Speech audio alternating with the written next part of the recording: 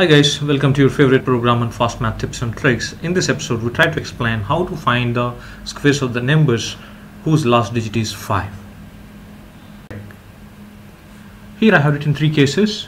One is 65 square, 85 square, 135 square. Actually, these can be done in just one second. If you ask me answers for these, uh, first answer is 4225, second answer is 7225, third answer is 18225.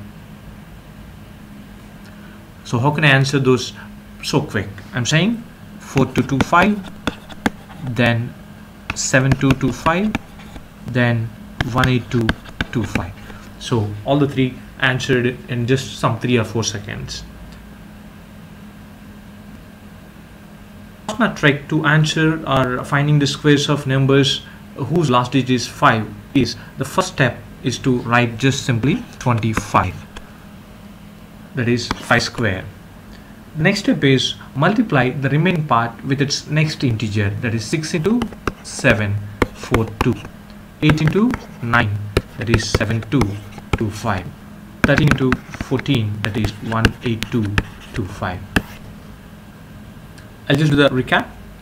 When you need to find the squares of the numbers which end with 5, the step 1 is write 25, that is nothing but 5 square. Step 2 is multiply the number with its next integer, that is 6 into 7, 8 into 9, 13 into 14.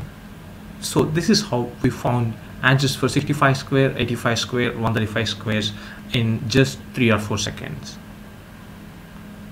I trust you all enjoyed this session. We come up with more such fast math tips and tricks. Stay tuned.